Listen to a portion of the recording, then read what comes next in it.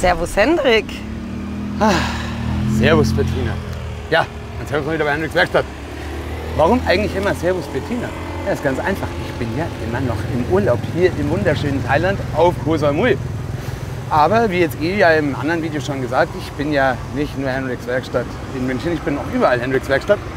So, und deshalb dachte ich mir, ich stelle auch hier was Neues vor. Geil. Und zwar den Honda XADV 750. Ja, was ist das? Das ist einfach nur ein geiles Teil. Warum? Es ist ein Crossover-Roller, Automatik, Scooter, Ding. Eine Mischung aus Roller, Scooter, also Automatikroller und Offroad-Maschine. Ist das nicht fett? Schaut mega fett aus. Finde ich mega fett. So, was ist geil an dem Ding? Also, das ist das 2020er Modell. Das ist ein Stückchen neuer äh, und ein bisschen besser geworden. Die haben den Rahmen, das ist ein neuer Rahmenaufbau. Das ist so ein Diamantframe, nennt sich das. Damit haben sie ein Kilo gespart. Das Coole ist, durch dieses ein Kilo, was sie sich sparen konnten, konnten sie, ich weiß gar nicht, wie kriege ich eigentlich den Sitz auf? Ah. Warte. Geil. Schau dir das mal an. 22 Liter Fassungsvermögen hat er hier. Und der Tank, glaube ich, hat äh, 13,8 Liter. Steinigt mich jetzt nicht, wenn ich falsch liege. Voll geil. Unten drunter 12 Volt Ladedose. Also ich glaube, beim anderen war es ein Zigarettenanzünder. Jetzt ist es ein Mikro, also ein normaler USB-Stecker. Geil.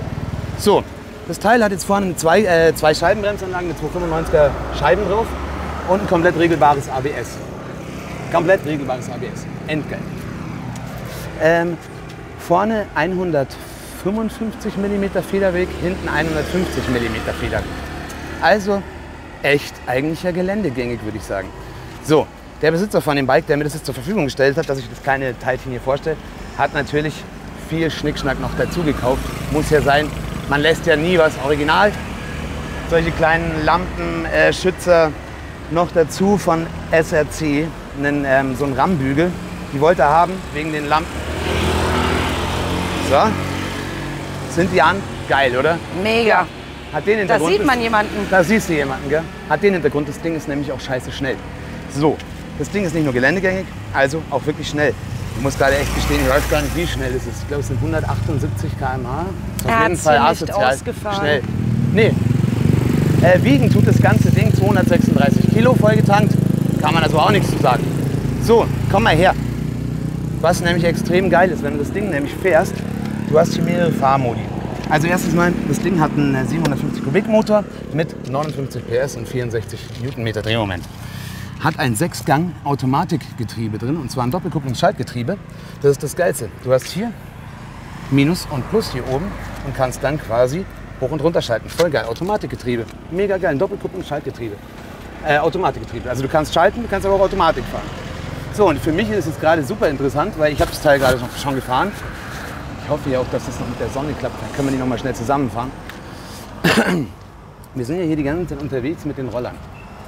Also hier auf der Insel. Und das sind ja ganz normale äh, CVT-Getriebe oder besser gesagt so normale Variomatik-Getriebe. Wie am Gummiband wirst du gezogen. Das Ding hat eine richtige Schaltung. Der hat die ersten drei Gänge, sind sehr kurz über, unter, untersetzt und äh, übersetzt. Untersetzt bin ich. Haha. äh, sind sehr kurz übersetzt. Und die, äh, der vierte, fünfte und sechste Gang sind länger übersetzt zum Cruisen. Damit du quasi im Gelände einfach mehr gasen kannst. Und quasi, weil das Ding ist ja wirklich für einen Offroad-Einsatz ge- gedacht. Hier hinten auch übrigens neues Teil, weil fetter Koffer da, alles kannst du viel mit reisen. Und Auspuffanlage von Yoshimura. Macht auch richtig ordentlich Rabatt. So, das Coole ist, warum ich dich jetzt überhaupt her haben wollte. So, wenn du das Ding im Offroad-Modus fährst, kannst du natürlich da auch noch Fußrasten rausfahren, mit denen du dann wirklich fahren kannst im Gelände. Also richtig Offroad. Geiler Scheiß. Ja, vor, was gibt's denn noch zu sagen? Ah, genau. Jetzt gehen wir mal auf die Fahrmodi ein. Denn du hast hier vier verschiedene Fahrmodi, die du auswählen kannst zwischen Sport, Gravel. Ist ganz schön warm eigentlich mit Cap. Ich wollte es halt nur aufhaben, weil es so Usus ist. So. Ähm, hier, tun wir mal so hier schön hin. So. Ähm, äh, was wollte ich sagen? Ah ja, Ach, ich lasse mich schon wieder so schnell ablenken. Wo war ich denn stehen geblieben? Fahrmodus. Dankeschön, bei den Gerne. Fahrmodi. Also, Fahrmodi. Gravel, das ist ein spezieller Modus. Da ist hier vorne oben drin der kleine Schalter extra ein bisschen versteckt. Ich kann es ja mal anmachen. So, damit wir hier mal 5 Zoll TFT-Bildschirm, wo alles zu sehen ist, deine Lufttemperatur natürlich. Ähm, so, dann kannst du nämlich jetzt hier von neutral gehst du auf Drive, wenn, er, wenn sie drivet, genau. Also du guckst, du kannst den jetzt gleich anmachen. Hör mal, die klingt echt ganz geil. Passt. So, dann kannst du die jetzt hier anmachen. Schau mal. So, ich habe jetzt den Gang eingelegt, obwohl sie auf dem Hauptständer steht. Jetzt müsste sie eigentlich hinten sogar schon drehen. Genau. Und wie wir sehen, wenn ich hier wenn ich hier bremse, vordere Bremse, hinten eine Integralbremse. Also links ist eine Integralbremse. Sau gut. Also, diese ganzen Fahrmodi, das ist wirklich viel. Der Gravel Mode zum Beispiel lässt einen ganz gewissen Schluff an der Hinterachse zu. Das heißt, so dein Hinterrad, wenn du jetzt im, Getriebe, äh, im Gelände bist oder sowas, du hast ja da auch so ein volles, so eine Art ja, Antriebsschlupfregelung. Also das ist nicht nur ein ABS, was quasi dich bremst, also wie es halt normale ABS-Bremsung ist, ist ja klar, sondern du hast auch sowas wie eine Antriebsschlupfregelung, wie du es auch vom Auto hast. Also ein Art eine ESP ist ja vom Schleudern Antriebsschlupfregelung. Da bleiben wir jetzt, fertig. So, wenn du jetzt im Gelände bist, dann würde die jetzt gar keinen Schlupf durchlassen, normalerweise im Standard-Traktionsmodus. Wenn du jetzt aber im Gravel-Mode bist, dann lässt es ein bisschen was zu. Sau geil. Das Ding ist also quasi wirklich dafür ausgelegt, dass du hiermit mit dem Koffer da oben in die Berge reinkloppen kannst. Und einfach, das ist perfekt für diese Insel. Boah. So, wie machen wir das jetzt? Das Problem ist halt hier in Naton, ist es halt auch echt jetzt gerade Rush Hour. Deswegen, wie du siehst, ach scheiße, Sonnenuntergang sieht man heute gar nicht. Na schade. Weißt du was, wir machen das so. Weil hier ist jetzt Fahren gerade, glaube ich, echt ein bisschen schwierig. Wisst ihr was? Das, glaube ich, macht auch eh alles nur Sinn, wenn man es im Offroad-Betrieb mal fährt. Oder? Was meinst Ja, du? ja. Gut. Äh, da ich jetzt aber auch gar keinen Bock habe, mit Flippies ins Gelände zu fahren, weil da nutzen mir nämlich auch die schönen Fußrasten hier nichts. Außerdem, normalerweise sollte man ja in Thailand einen Helm tragen. Ich trage jetzt hier so einen österreichischen Helm, der geht auch nicht kaputt, wenn man runterfällt. Ähm, was gibt's noch zu sagen? Ich will jetzt zu einem Thema, zu einem Abschluss kommen. Schau mal, auch geil, ohne Werkzeug zu verstellen. Wenn man es verstellen kann. Ich, ja, ich bin zu dumm. Das ist halt geil. Und ich habe die ja gerade schon gefahren. Und ich habe normalerweise das Problem, wenn ich die, ähm, die Windshields bei den Harleys habe, Problem, dass bei mir der Bart von unten dann so hoch gewählt wird und ich sehe nichts. Das hier ist perfekt abgestimmt von der Endgeil. Ja, ah ja, du hast mich leider nicht gefragt, was dieses Fahrzeug denn kostet. Denn tatsächlich gibt es das Teil eigentlich gar nicht bei uns in Deutschland so wirklich zu haben.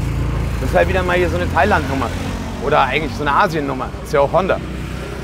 Ähm, ich bin mir sicher, du kriegst es auch irgendwie rüber importiert, wenn du möchtest. Dann liegt es aber so bei ca. 7.450 Euro. Danke der Nachfrage. Ah, Da hat der Kerl ja mal wieder einen ganz schönen Scheiß erzählt. Natürlich ist das Ding in Deutschland zu bekommen. Allerdings muss es dann halt auch aus Österreich importieren. Und quasi mit der Beführung kostet es dann 12.499 Euro. Weitermachen. Entschuldigung. Hatte noch über die Farbe nachgedacht. Genau, danke.